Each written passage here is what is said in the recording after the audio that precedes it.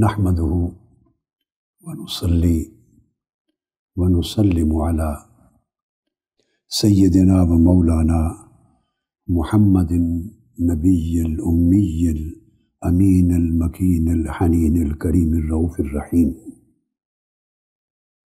अम्मा बाद बसमीम मुआज़ अहल इल्म फ़िक्र अदब नात के महक्कीन मुफ़क्रीन और जुआमा शुरा मजलिस और मिनहाज यूनिवर्सिटी के मुहतरम वाइस चांसलर साहब इस कराम और जुमला मुअल्लिमीन व मुअल्लिमात और इस दूसरी कौमी अदबी नात कॉन्फ्रेंस के हाजरीन व हाजरात, और सामीन व नाजरीन, और सामयात व नाजरात। अल्हम्दुलिल्लाह ताला, आज मिनहाज यूनिवर्सिटी लाहौर के ऑडिटोरियम में हसान बिन साबित सेंटर फॉर रिसर्च इन नात लिटरेचर के जेर अहतमाम नात फोरम इंटरनेशनल के इश्तराक के साथ। एक रोज़ा कौमी अदबी नात कॉन्फ्रेंस मुनद हो रही है। और जिसका थीम है पाकिस्तान में उर्दू नात निगारी।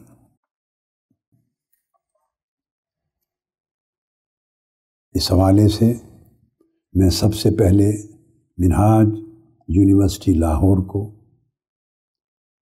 इस अम्र पे समी में कल्ब से मुबारकबाद पेश करता हूँ कि उन्होंने बहुत अहम लायक के सद तहसीन इकदाम किया है। नातिया अदब को तारीख़ी असास पर अदबियात आलम से जोड़कर देखने की ज़रूरत थी। और फ़नी सतह पर नात के सिनफी तशख़स को बरकरार रखने और इसको फ़रोग देने और आइंदा नस्लों तक पहुँचाने की ज़रूरत थी। अल्हम्दुलिल्लाह ताला, मिनहाज यूनिवर्सिटी ने हसान बिन साबित नात रिसर्च सेंटर कायम करके इस फरीज़ा की अदायगी के सिलसिले में एक अहम कदम उठाया है। मैं डॉक्टर हुसैन मोहिद्दीन कादरी को, वाइस चांसलर साहब को और उन तमाम इस मलमिन को और तहरीक मिनहाजुल कुरान के कायदीन को जिन्होंने मामनत की है इस सेंटर को इस्टेब्लिश करने में, मुबारकबाद पेश करता हूँ। गुज्त चौदह सदियों से हुजूर नबी अकरम सल्लल्लाहु अलैहि वसल्लम की मदद सराई की बाबरकत रिवायत कायम है। और तारीख़ इस्लाम के किसी भी अहद में किसी भी गोशा में ये रिवायत मुनक़ा नहीं होगी। मुसलमानों की इल्मी, फ़िक्री, अदबी और शेरी तारीख़ में इस सिनफ के, यानी सिनफ नात के इतने अजीम सरमाए मौजूद हैं, ख़जाने मौजूद हैं कि जिसका तस्वुर करना व अहाता करना मुश्किल है। दुनिया की तमाम मरूफ ज़बानों में नातिया शाहकार मौजूद हैं। लेकिन अरबी, फ़ारसी, तुर्की और उर्दू ज़ुबान को इस बाब में एक इम्तियाज़ हासिल है। जहाँ तक नसरी नात का ताल्लुक है मैं आगे चल के अर्ज़ करता हूँ कि नात तीन सूरतों में कही जा सकती है। यानी नसरी नात भी हो सकती है, खिताबी नात भी हो सकती है और शेरी नात भी हो सकती है। सो नसरी नात को अगर देखें तो कुरान मजीद नात मंसूर का सबसे अजीम शाहकार है। अगर कुरान मजीद का, जो हुजूर नबी अकरम सल्लल्लाहु अलैहि वसल्लम की नात मंसूर है, इसका मुताला इश्क मोहब्बत और कल्ब निगाह की बसीरत के साथ किया जाए तो हर आयत कुरानी हुजूर सलाम की मद सना की खुशबू में मुअत्तर एक फूल दिखाई देती है। और अगर तमाम आयात करीमा का अहाता करें तो पूरा कुरान मजीद नात रसूल ही के गुलहाए रंगा रंग से सजाया हुआ एक नहायत खूबसूरत गुलदस्ता दिखाई देता है। जैसा कि मैंने अर्ज़ किया कि नात की तीन किस्में हैं, नसरी नात, खिताबी नात और शेरी नात। ज़रूरी नहीं कि हम लफ्ज़ नात का इतलाक इन तीन असनाफ में से किसी एक सिनफ पर ही बित तखसीस करें या बित तयन करें।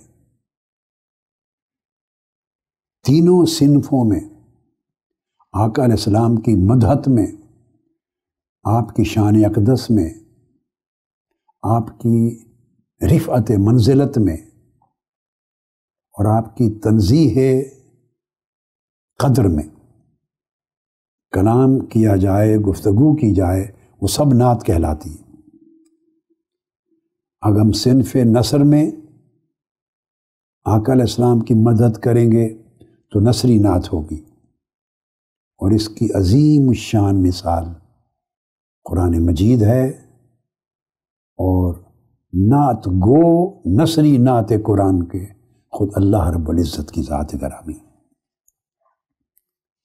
अल्लाह नायत मोहम्मद है अलैहि वसल्लम।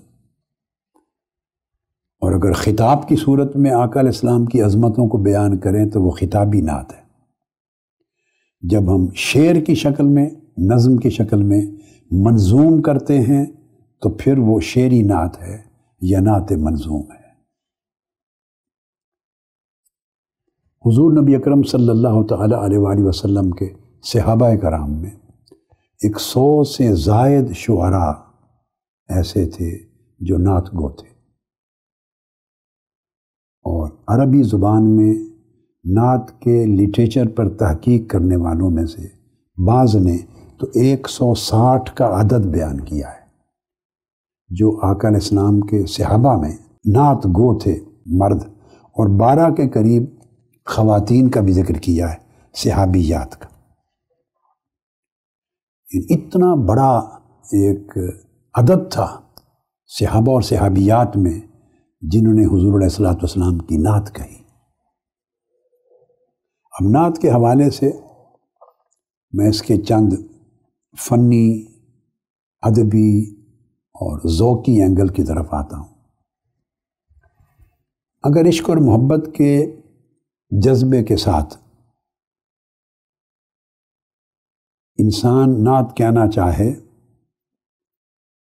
और जो मुख्तलिफ़ रंग हैं नात के सिनफ के, वो उसकी गिरफ्त से बाहर हों। या शायर के पास आकल सलाम की मदहत व तोसीफ़ के लिए मौजू अल्फाज दस्तियाब ना हों। या उनकी अदायगी का अंदाज उसके पास आला मैार का ना हो। या मोहब्बत रसूल में, इश्क रसूल में, हिजर रसूल में तलब दीदार रसूल में, जो भी उस पर वारदात और कैफियात आती हैं और तजर्बात आते हैं, वो ख़ुद उनसे लुफानंदोज़ होता है। मगर उनको आला, शानदार और अदब के पैराए में उन कैफियात के साथ दूसरों को शरीक नहीं कर सकता। वो अपनी कैफियात दूसरों तक पहुँचा नहीं सकता, कासिर रहता है। शेरी फन की शक्ल में वो अपने तजुर्बात की जमालियाती पेशकश दूसरों के सामने नहीं कर सकता। उसके पैराया इजहार में वो नुदरत नहीं होती, वो खूबसूरती नहीं होती। तो नात कहने में नाकाम होता है। और अगर ये कैफियत और ये मलाकात उसको हासिल हो जाएँ तो जो लज्जत और कैफियत और सरूर वो अपने बातिन में फील करता है, वो दूसरे तक पहुँचा भी सकता है और न सिर्फ़ पहुंचाता है, बल्कि वो कैफियत देर तक सामे और कारी के भी दिल में, बातिन में, रूह में बरकरार रहती। ये एक बुनियाद है, शेरी नात। अब बेशक, जैसा कि मैंने अर्ज़ किया कि नात का इतलाक खिताबी, नसरी और नज़मी, शेरी तमाम सूरतों पर होता है। मगर बिलूम इस अतलाह का इस्तेमाल हम शेरी सिनफ पर करते हैं। ये मुतदावल है। और नात का लफ्ज़ सिर्फ़ हजूर सलाम के औसाफ हमीदा के लिए ही नहीं, अपनी लुगत के अतबार से आम है। इसका इस्तेमाल मुश्तरक है। मगर तवील ज़माने के इस लफ्ज़ और अतलाह के इस्तेमाल ने इसे हुजूर सलाम के औसाफ हमीदा और महासन जमीला के शेरी बयान के साथ मखसूस कर दिया है। अदरवाइज़ अगर हम देखें शमाइल तिरमजी में तो सैदना अलीमरतज़ा करम वजल करीम ने हजूल के महासन रफ़िया और आपके शमाइल जमीला को बयान करते हुए नात का और नायत का लफ्ज़ इस्तेमाल किया है। ये शमाइल तिरमजी की सातवीं हदीस है, जिसमें अल्फाज आते हैं, कान अली इज़ा वसफ़ रसूल अल्लाह सल्लल्लाहु वसल्लम सैदना अलीमरतज़ा करम वजह करीम। जब हजूर इस्लाम का वसफ़ करते, तोसीफ़ करते, आपकी सना बयान करते तो फिर वो आकल सलाम के वसफ़ और सना में ये ये ये कहते, तवील मजमून है। आखिर पे जाके फरमाया, यकूल ना तो लम अरा कबलहू वला बादहू मिसलहू, कि हुजूर की नात कहने वाला, यानी आपके हसन व जमाल और आपकी अजमत व कमाल का बस बयान करने वाला ये कहता था कि हुजूर जैसा हसीन व जमील और हुजूर इस्लाम जैसा बाकमाल मैंने न आपसे पहले कभी देखा था, न आपके बाद कभी देखा है। तो यकूल ना ए तो हु का लफ्ज़ बोलकर आपने नात के लफ्ज़ को हजूर सलाम के हदीसी लिटरेचर में आकल इस्लाम के औसाफ हमीदा के बयान के साथ ख़ास कर दिया है। नात के मौजूद आप जानते हैं। आकल इस्लाम की विलादत बासादत से शुरू होते हैं और जुमला पहलू आपकी हमदो सना के, आपकी अजमत व रिफत के, आपकी तज़ीम व तोक़ीर के, ये सब उसके मरकज़ी अनासर हैं। आपकी नूरानी तख्लीक का मौजू, आपकी शान अवलीत आपका हसन खल्क और आपका हसन खुल्क, आपका मरतबा नबूत आपकी शान ख़ातमीत आपके मिलाद पाक के जो अजायब हैं और उसकी बरक़ात, उनका ज़िक्र, बेसत मुबारक का ज़िक्र, फिर आपका नसब आली, आपके अजदाद मुकर्रम, आपका अहद तिफली, आपका शबाब मुक़दस आपका बुलंदी किरदार, आपका सिद्क अमानत, ये आपके अखलाक हमीदा, औसाफ जमीला, ये सब मौजूद हैं, जिन पर नात लिखी गई है, लिखी जाती है और क़्यामत तक नात गो लिखते रहेंगे। फिर आप इज़्ज़त व तकरीम के साथ आपकी दावत भी इसमें शामिल है। तोहहीद तो रिसालत की दावत है। तबलीग व इशात के पहलू हैं। आपका अज़म व इस्तकामत है। आपकी हिजरत के तस्करे हैं। मुआख़ात के तस्करे हैं। आपके गज़बात के तस्करे हैं। जुरत के तस्करे फतूहत के तस्करे हैं। फिर हकाम हक का नफाज है। फिर आपकी आल पाक का तस्करा और उनकी अजमत का बयान है। असाब रसूल का बयान है। अल्लाह रबुल्ज़त की बारगाह में आपका मुकाम महबूबियत है। फिर आपके मोजात हैं। फिर आपके खसाए से मुबारक हैं। ये मौजूद हैं। इन पर नात लिखी जाती है और लिखी जानी चाहिए। फिर आपकी शफात उज़मा है। फिर आपका इल्म है, आपका हिल्म है, आपकी हिकमत है, आपका तदब्बर है, हुसन जमाल है, अज़मत व कमाल है। आकाम के इंसान कामिल होने के पहलू हैं, फिर आपके मामूलत मुक़दसा हैं। अदल इंसाफ है, आपकी सखावत है, आपकी फयाजी है, जूद व करम है, लुत्फ़ अता है, रहमत व राफत है। आपका अफ़ व दरगुज़र है शजात व मुरवत है। ये पहलू फिर नात के मौजूद बनते हैं।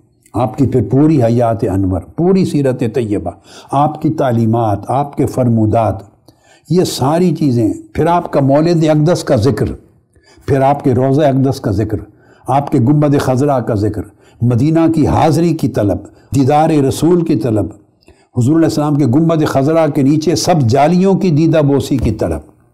आपसे नस्बत रखने वाली हर शय का अदब, उससे मोहब्बत, अलगरज़ इतने बेशुमार, रोशन मुनवर मुक़दस और खुशनुमा पहलू हैं।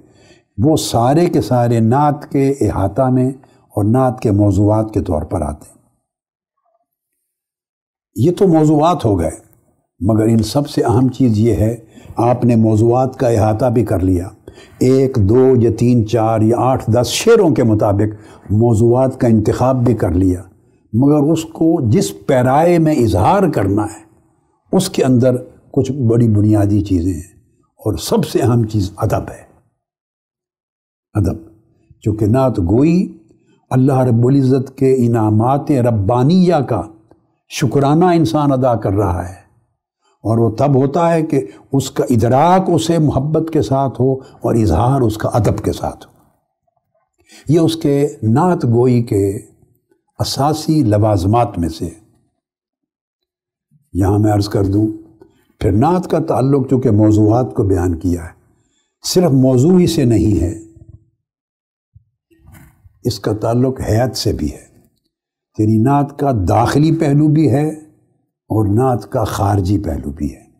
मौजू, जो मौजू सुखन है, वो नात का दाखिली पहलू है। मवाद क्या है? उसके अंदर फ़िक्र क्या है? उसके अंदर तस्वुर क्या है? ख्याल क्या है? ये उसका दाखिली पहलू है। और उसकी हैत ये खारजी पहलू है। अब हैत के अतबार से नात किसी एक ख़ास हैत की पाबंद नहीं है।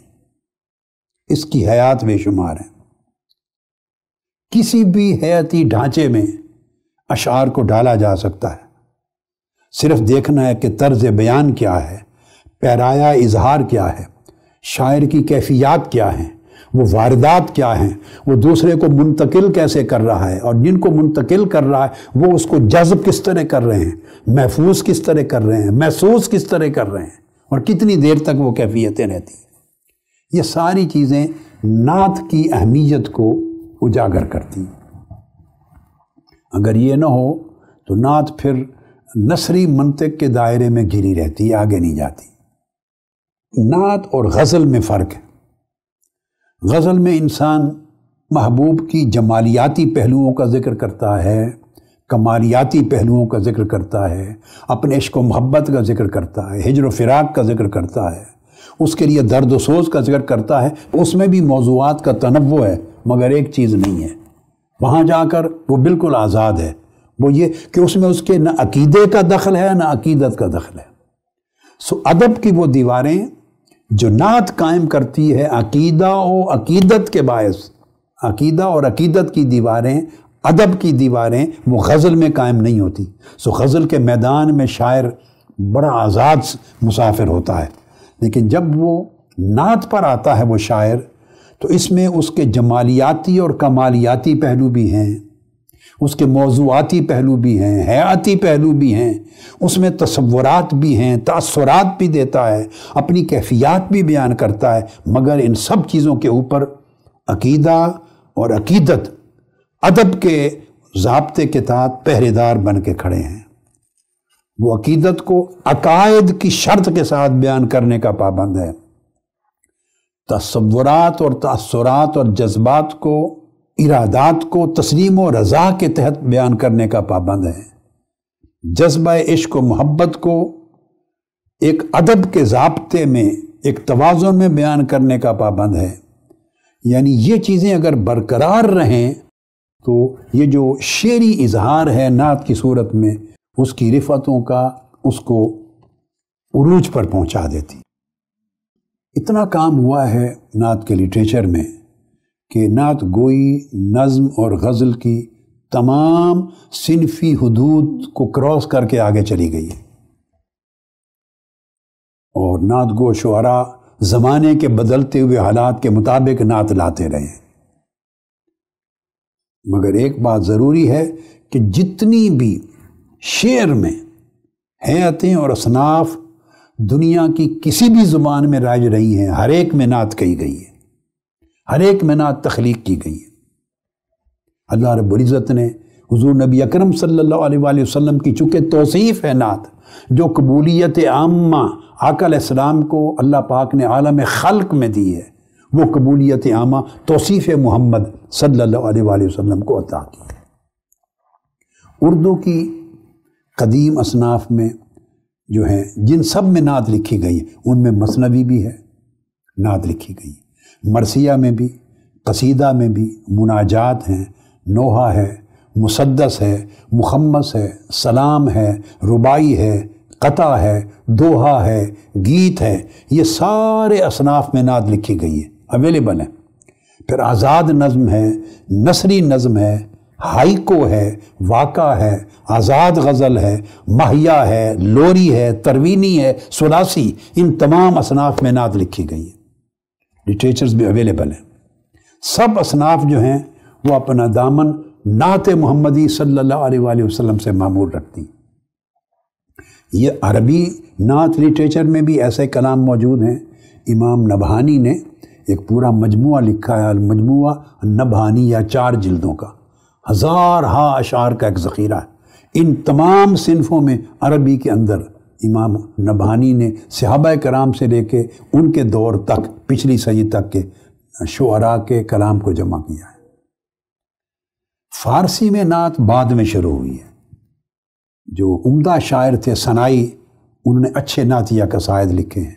मगर जमालुद्दीन असफ़हानी, ख़ाकानी, निज़ामी, अत्तार, कुतुबुद्दीन मुख्तियार काकी, फिर जलालुद्दीन रूमी, इराकी, सादी, ख्वाजा तबरेज़ी अमीर खुसरो, हसन संजरी, बू अली कलंदर, पानीपति, ख्वाजा किरमानी, हाफिज़ शिराजी, जामी, उर्फ़ी, फैज़ी, नज़ीरी, असफ़हानी, ये सारे बड़े बड़े फ़ारसी अदब की तारीख़ में अजीम नातगो लोग हुए हमारे हिंद में फिर असदुल्ला ख़ान गालिब और अलामा इकबाल का नातिया कलाम भी बड़े ऊँचे रुतबे पर पहुँचा है। अब उर्दू में जो नात गोई है, इसकी तारीख उतनी ही है जितनी उर्दू ज़ुबान की तारीख जो भी उर्दू के अवली शायर थे, उस वक्त से लेके आज तक एक अहद और एक तबका भी ऐसा नहीं गुजरा जिसमें नात ना कही गई हर एक ने तबाह आजमाई की है। और इस अजीम बरकत रिवायत को हर एक ने अपनी शायरी का वकी और अजीम हिस्सा बनाया। तो उर्दू शायरी भी दर हकीकत अरबी, टर्किश और फ़ारसी शायरी का तसलसल है। उर्दू शायरी का जो बाकायदा आगाज़ है, ये कुतुब शाही अहद में हुआ था। वैसे तो इब्तदाई दौर जो उर्दू नात की नशो नुमा का, उसमें हज़रत ख्वाजा गेसु दराज रमत जैसे बासूफिया का बड़ा दखल है। मगर सुल्तान मोहम्मद कुली कुतुब शाह इसने नात की मुस्तकिल हैसियत को मुतन किया, नातिया गज़लें लिख कहीं नातिया रुबाइयाँ कहीं, अक्सर मुनकता नातिया।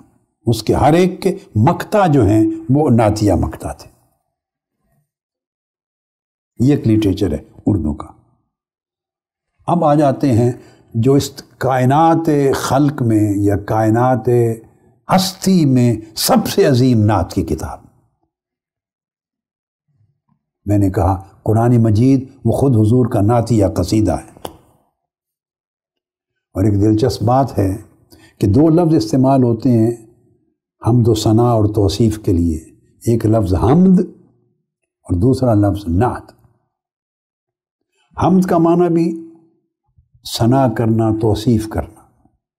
नात का माना भी सना करना, तोसीफ़ करना। माना में दोनों मुश्तरक है। मगर उमूमन हमद अल्लाह रब्ज़त की तोसीफ़ व किबरियाई के बयान के साथ ख़ास हो गई है। और नात आकाम की तोसीफ़ व मुस्तफ़ाई के बयान के साथ ख़ास हो गई। अब कुरान मजीद की सूर फातह की पहली आयत शुरू होती है, अल्हम्दुलिल्लाह रब्बिल हमद से, तारीफ़ के सब्जेक्ट से शुरू होती है। इससे हमद और नात का जो मौजूई अहमियत है, उसका अंदाज़ा होता है कि अल्लाह रब्ज़त ने कुरान मजीद का पहला लफ्ज़ सूरह फातिहा की पहली आयत का पहला लफ्ज़ अलहमद रखा इससे शुरू किया। क्योंकि अल्लाह रब्ज़त ख़ुद नायत मोहम्मद है और हुजूर सल्लल्लाहु अलैहि वसल्लम हामिद खुदा हैं। अल्लाह नायत मुस्तफ़ा है और हुजूर सलाम हामिद खुदा हैं, जल्ला वाला किसी ने क्या खूब कहा, मोहम्मद से सिफत पूछें खुदा की, खुदा से पूछिए शान मोहम्मद। यानी ये हामिद और महमूद हैं। हुजूर अल्लाह के हामिद हैं तो अल्लाह हुजूर का महमूद है। जब अल्लाह हुजूर का हामिद है तो हुजूर अल्लाह के महमूद है। इस वजह से हुजूर को हामिद भी बनाया है और क़यामत के दिन आपकी शान मुकाम महमूद रखकर महमूद का होना भी नुमाया फरमा दिया है। लफ्ज़ी माना चूँकि दोनों लफ्ज़ों का हमद और नात का एक है, यानी और उसमें जो लफ्ज़ मोहम्मद आ जाता है ये फिर मुबालगे का सीगा है। बाब तफ़ील से इसमें मफूल बहुत मुबालगा का सीगा है। तो लफ्ज़ी माना बन जाता है जिसकी बहुत तारीफ़ की जाए, जिसे बहुत बहुत सराया जाए। मुसलसल जिसकी तारीफ़ की जाए बार बार जिसकी हम तारीफ़ और नात कही जाए, उस हस्ती को मोहम्मद कहते हैं। अब चूँकि हमद के बाप में महमूदियत की इंतहा लफ्ज़ मोहम्मद में है। इसलिए इस तस्वुर को जहन में रखते हुए मेरी नज़र से गुज़रा सफ़ी औरंगाबादी का एक शेर। बड़ा अजीब शेर था। इस तस्वुर को जहन में रखते हुए उसने शेर कहा और बड़े हुसन तालील पैदा किया उस। वो कहता है, क्या कहूँ? मुँह से कि कुरान का मुँह है वरना। क्या कहूँ मुँह से कि कुरान का मुँह है वरना? हमद का लफ्ज तो होना था मोहम्मद के लिए। उसने तालील बयान की है, मगर वाक़ यह है कि मोहम्मद और महमूद ये लफ्ज़ आपस में मानवी और मौजूई एतबार से और लफ्ज़ी और असली एतबार से जुड़े हुए हैं, अक्स एक दूसरे के। जब हम ये देखते हैं तो कुरान मजीद की चंद नातिया उनवानात को देख लेते हैं, कुरान मजीद की। आकल इस्लाम की विलादत मुबारक का ज़िक्र और आपकी खिलकत का ज़िक्र, कद जा अकुम मिनल्ला नूर आकल इस्लाम के ज़िक्र रफ़ी, अज़मत शान का ज़िक्र करता है वरफ़ा अना का ज़िक्र आकल इस्लाम के चेहरे अनवर का ज़िक्र करता है, कद नरा तकल्लुब वजह का फ़िसमा हजूर इस्लाम के फिर रुख ताबा का ज़िक्र करता है वशम से व दुहा आकल इस्लाम के गेसुए अतहर का ज़िक्र करता है आपके फिर गेसुए अंबरी का रुखसार अनवर पर लहराने का ज़िक्र करता है, फिर किनाए की ज़ुबान में वदुहा वल्लैल इज़ा सजा। आकल इस्लाम की पुश्त मुबारक का ज़िक्र करता है, अल्लजी अनकद ज़हरक।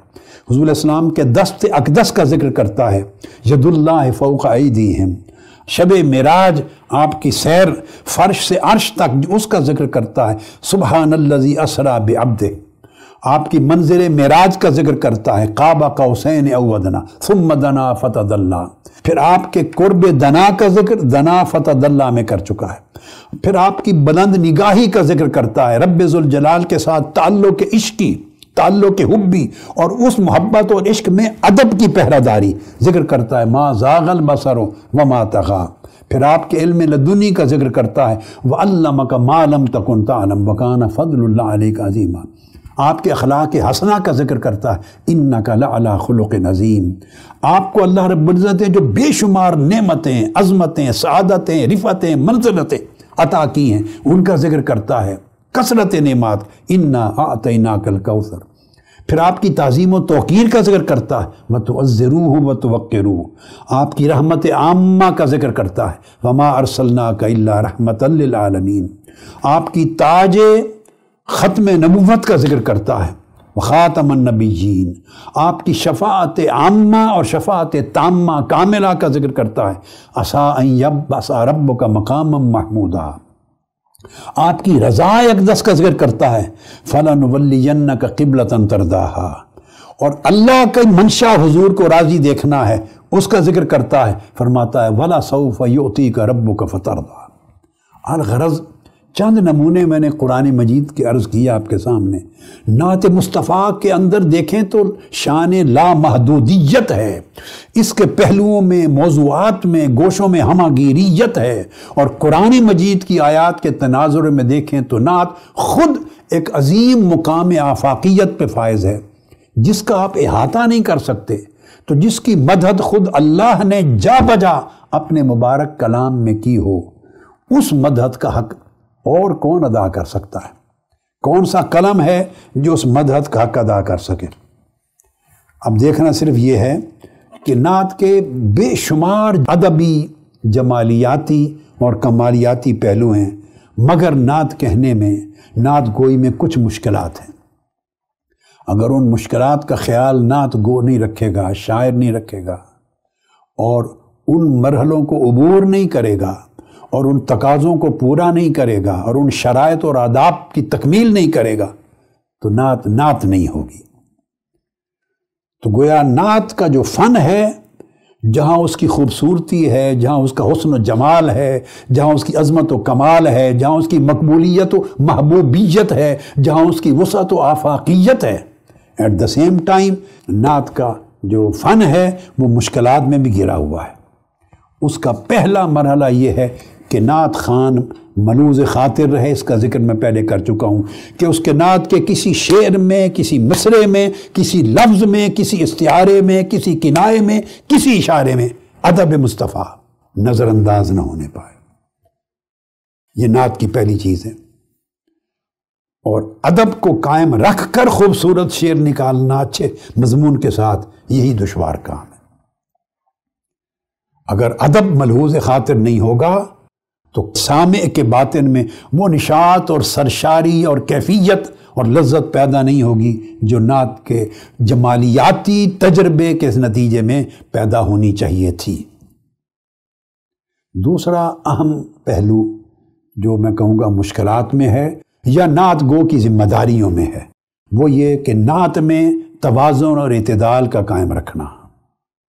मैंने अर्ज़ किया, नात का गज़ल से क्या फ़र्क है? नात पाबंद है चूँकि आयात कुरानी की कायम करदा हदूद की। नात गोई पाबंद है हदीस नबवी की कायम करदा हदूद की। नात गोई पाबंद है, शरीयत मुतहरा की हदूद की। अब एक तरफ़ पाबंदी ये कुरान है, पाबंदी ये हदीस है, पाबंदी ये शरीयत है, पाबंदी ये अदब है, और दूसरी तरफ़ इश्क रसूल की इंतहा है। इन दो को जोड़कर शायराना अंदाज में मोहतात पैराए में बात करना ये इम्तिहान है शायर का। मामूली सलाहियत का आदमी हदूद से तजावज़ कर जाता है और वो बेअदबी का मरतकब होता है। हमारे यहाँ ये चीज़ आम हो रही है। लिहाजा जो शख्स नात के लिए कलम उठाए, उसके ऊपर वाजिब है कि उसका कोई एक शेर और किसी शेर का कोई एक ख्याल, कोई मौजू, कोई बयान वो शरीयत मोहम्मदी, आयात कुरानी और हदीस नबवी की कायम करदा हदूद को तोड़ नहीं सकता। उनमें रहकर वो अदब की दीवारें हैं। फिर वो अपने बयान की नुदरत और अपने फ़न की महारत का इस्तेमाल करें। तीसरी बड़ी इम्तियाजी चीज़ ये है कि जब नात लिखी जाए या नात कही जाए तो देखना है कि उसकी नज़म में, उसके सुखन में इम्तियाज़ क्या है। कौन सा नया ख्याल दे रहा है? नात गो पर लाजिम है कि कोई नया ख्याल लाए हर शेर में, कोई नया मजमून लाए, या अपने बयान के अंदर कोई ऐसी नुदरत पैदा करे जो कशिश का सबब बने। ये इंपॉर्टेंट है, नात गोई के लिए। और अगर ये काम नहीं कर सकता, नया ख्याल, नया मजमून, अगर वो रकम नहीं कर सकता, और शेरी ज़ुबान में उसका बयान नहीं कर सकता। और ख़्याल अगर नया नहीं तो कम से कम लफ्ज़ों की तरतीब ऐसी ले कि वो लफ्ज़ों की नई तरतीब एक नया कैफ व सुरूर पैदा कर दे और उसको इस तरह के सियाक व सबाक के साथ जोड़े कि सियाक व सबाक भी और अल्फाज की तरतीब और चुनाव एक कैफियत पैदा कर दे। और उसको सादा रखे ताकि सुनने वाले और पढ़ने वाले के जहन पर समझने के लिए बोझ ना आए। यहाँ मुनीर न्याजी का एक शेर है। हम तालब इलमी के ज़माने में जब मास्टर्स कर रहा था पंजाब यूनिवर्सिटी में तो ये वो अदम और मुनीर न्याजी ये सब शरा आया करते थे मुशायरों में, यूनिवर्सिटी में। उनका एक सादा सा शेर है। वो शेरी महासिन और आरइश और तकल्लुफात से बिल्कुल खाली है। बेनियाज है, सादा बयानी है। मगर एक कैफियत पैदा करती। वो कहता है, मैं कि एक बर्बाद हूँ। आबाद रखता है मुझे। देर तक इसमें मोहम्मद शाद रखता है मुझे। अब आप देखिए कि इस शेर की बुनियाद अमर वाकया पर और रासबाजी पर है। इन दोनों मिसरों में कोई तकल्लुफ नहीं है, कोई बहुत जोश, अकीदत नहीं है, मगर जो रब्त है बात का और उसके अंदर जो हलावत है और लफ्ज़ों के दरमियान जो रिश्ता है और हकीकत पसंदी है, एतराफ़ी अंदाज है, उसने खूबसूरत बना दिया शेर को। इसी तरह की सादगी जो मुसदस हाली में भी मिलती है, सादगी का हौसन। जैसे हाली ने कहा, ख़ताकार से दरगुजर करने वाला। बदन देश के दिल में घर करने वाला, मफासद का जेर व ज़बर करने वाला, कबाइल को शीर व शकर करने वाला, उतर कर हीरा से सुबह कौम आया, वो एक नुस्खा कीमिया साथ लाया। फिर कहते हैं, अरब जिस पे करनों से था जहल छाया, पलट दी बसिक आन में उसकी काया, रहा डर न बेड़े को मौजे बला का, इधर से उधर फिर गया रुख हवा का। ये एक सादा अंदाज है नाद गोई का। इस सादगी को कायम रखकर, हकीकत पसंदी पर मदार करके खूबसूरत नतीजा पैदा कर लिया। फिर एक चौथा पहलू है नात गोई का, वो मुश्किल तरीन मरहला है। और मुश्किल तरीन मरहला ये है, मैं इसका इशारा पहले कर चुका हूँ, मगर अब इसको फोकस कर रहा हूँ, कि नात एक तरफ़ आकल सलाम के कमाल दर्जा इश्क से निकलती है। इश्क से। दूसरी तरफ़ उसका बयान, सीरत नबवी, शमाइल नबवी, कुरानी आयात की रोशनी में आदीस नबवी की रोशनी में, शरीयत मुतारा की हदूद में उसने फरीज़ा अंजाम देना। है लिहाजा शायर के पास अपने शायराना तखयलात को नात गोई में बेकरां वसअतें और लामहदूद आज़ादियाँ हासिल नहीं हैं, जो दूसरी असनाफ शेर में होती हैं। तो गोया कमाल इश्क भी हो, नात गोई में और आदाब इश्क भी मलूज रहें। इन दो चीज़ों को जमा करना, जैसे कहा, दूर बैठा गुबार मीर, उससे इश्क बिन ये अदब नहीं आता। दो चीज़ों को जमा करना, इश्क का कमाल भी और इश्क का अदब भी। अब इसमें मोहसिन काकोरवी का एक कसीदा लामिया है उसके चंद अशार मेरे जहन में आए, मैंने वो सामने रख लिए। वो लाए के तवज्जो हैं। उसमें मजामी का वफूर भी है, ख्यालात की आमद भी है, और ये चीज़ें एक समा बाँध देती हैं। फिर मिसरों में आहंग है, तशबीहात का एक निगार खाना है। कारी, मौसीकी और मुसवरी दोनों के जो हुसन हैं, उनसे लुत्फानंदोज होता है, और सामे भी। वो लिखता है, मोहसिन का कोरवी न कोई उसका मुशाबे है न हमसर न नज़ीर, न कोई उसका मुमासिल न मुकाबिल न बदल। औज रिफ़त का कमर, नखल दो आलम का समर, बहर वहदत का गुहर, चश्म कसरत का कमल। मेहर तोहीद की जो औज शरफ का महनो शम ईजाद की लो बज़म रिसालत का कमल। जी में आता है लिखूं मतला बरजस्त अगर वजद में आके कलम हाथ से जाए ना उछल, मुंतखब नुस्ख वहदत का ये था रोज अजल, कि ना अहमद का हसानी ना अहद का अव्वल।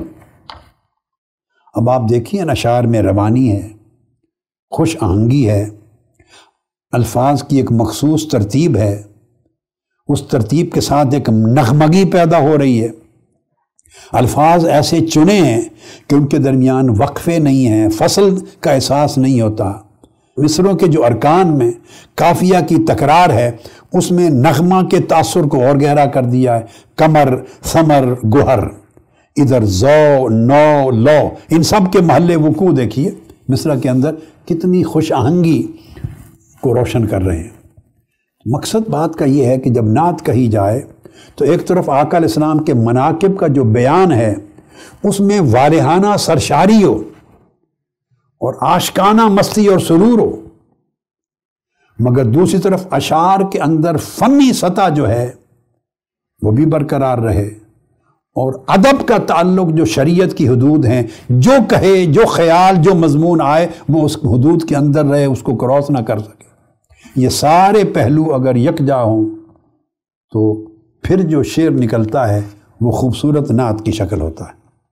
और अगर ये नज़रअंदाज हो जाएँ तो फिर नातिया अशार या नात, वो मतलूबा नतीजा पैदा नहीं करती और मतलूबा असर दिल और रूह पे नहीं डालती, जो डाली जानी चाहिए। और ख़ास तौर पे आज के ज़माने में ये बड़ी बदकिस्मती हुई है कि लोगों ने गानों और गीतों की पैरवी करते हुए उसके जेर असर नात लिखनी शुरू की और नात को पढ़ना शुरू किया। उसके साथ इंसानी जज्बात का बेमहाबा इजहार इंसान करता है, मगर अदब शान रिसानत को फरामोश कर देता है, जिसकी वजह से शेरी अदब नीचे जाता जा रहा है, उसमें जवाल आ रहा है। इसलिए कि जब इंसान इश्किया जज्बात का इजहार जब शायरी में करता है, उसके पास बड़े तनवात हैं, मुख्तलिफ़ तरीके हैं। उनका अहाता भी मुमकिन नहीं है। मगर नात कहते हुए, उसे हवस के तस्वुर से, हवस के ख्याल से, उसके लफ्ज़ों में भी हवस का ख्याल ना है उससे बुलंद होकर रूहानी इरतफा के साथ इश्क के अनगिनत जो रंग हैं, उसको शायरी में डालने पड़ते हैं। तशबी भी इस्तेमाल करेगा इस्तारा भी होगा। और ये इस्तेमाल होते हैं हिस्सी पैकरों के लिए। जब आप एक गज़लिया शायरी के अंदर हिस्सी पैकरों का ज़िक्र करते हैं और तशबी व इस्तारा की ज़ुबान में बात करते हैं तो आपको बड़ी मदद मिलती है, आपके लिए मैदान खुले हैं। मगर ये सारे शायराना वसाइल इस्तेमाल करें। इस ख्याल से कि मामूली सी भी गफलत ना हो और वफूर शौक और कसरत इश्क और जज्बा इश्क आपको हद फलांगने पर मजबूर न करे। थोड़ी सी भी बेतदाली ना हो। अगर ये चीज़ हो गई तो नात अपने मरतबे से गिर जाती है। इस वजह से अकीदा और अकीदत को शेरी तजर्बा और शेरी अंदाज में ढालना हर कस व नाकस के लिए मुमकिन नहीं। क्योंकि आकल इस्लाम का ज़िक्र होगा तो हिजर फिराक की कैफियत का भी तस्करा आएगा, वसल की लज्जतों का भी तस्करा आएगा। मगर जब हिजर फिराक और वसल की कैफियत का ज़िक्र कर रहा है, नात गो तो उसे ये खबर रखनी चाहिए और बेदार रहना चाहिए कि ये आम आशिक व माशूक की रुदाद बयान नहीं कर रहा और उन कैफियत को अपने अल्फाज में नहीं डाल रहा। नहीं, ये महबूब खुदा का तस्करा हो रहा है। जब नात के मकाम पर आए तो कहने वालों ने कहा, बा खुदा दीवाना बाशो बा मोहम्मद होशियार। जब बार गए, मुस्तफ़ा हो, सल्लल्लाहु अलैहि वसल्लम तो आप दीवाना नहीं बन सकते। तो हो दीवाना मगर फरजाना बन के लिखे। यह है नात का तकाजा। कैफियत दीवानगी की हो, अंदाज फरजानगी का हो, इन दो को जमा करके अच्छी नात निकालना यह है असल मसाला। और ये बुनियादी उसूल है। लिहाजा चंद चीज़ें जो मलूज रहें, ताकि मुश्किल अबूर हों और अच्छी नात पैदा हो। ये कि रस्मी और रिवायती मजामी को गैर मोहतात पैराए में नज़म नहीं किया जाना चाहिए। बल्कि नात को शायर के लिए ज़रूरी है कि वो क़वत ईजाद से काम ले, नए मजामी तलाश करे और इन फ़नून और वसाइल पर कादिर हो और मशक करे, सीखे। दूसरा, नात को शायर के लिए ज़रूरी है कि इस्लामी तालीमत पर ख़ास तौर पर किताब सुन्नत और सीरत तय्यबा और हदूद शरीयत पर उसकी गहरी नज़र हो, उसकी मारिफत हो और उसके कलम ज़ुबान से निकले हुए एक एक लफ्ज़ से आगाह हो कि हदूद के अंदर है या नहीं। तीसरा, मजहबी जज्बात, जो रूहानियत के जज्बात हैं, अकीदत की कैफियत हैं, उनके ज़रिए तमानीनत और आसूदगी की कैफियत पैदा करने पर कादिर हो। उसके अंदर कैफियात हो गई। उसको एक आसूदगी मिल गई, एक राहत मिल गई, लज्जत मिल गई, सरशारी मिल गई। मगर उसके ऊपर ये कुदरत हो कि ये वो कैफियतें सामे और कारी के दिलो दिमाग में भी पैदा कर सके। उसके लिए हम ज़िक्र कर चुके हैं जो मुख्तलिफ़ वसाइल उसने इस्तेमाल करने और बरू कार लाने।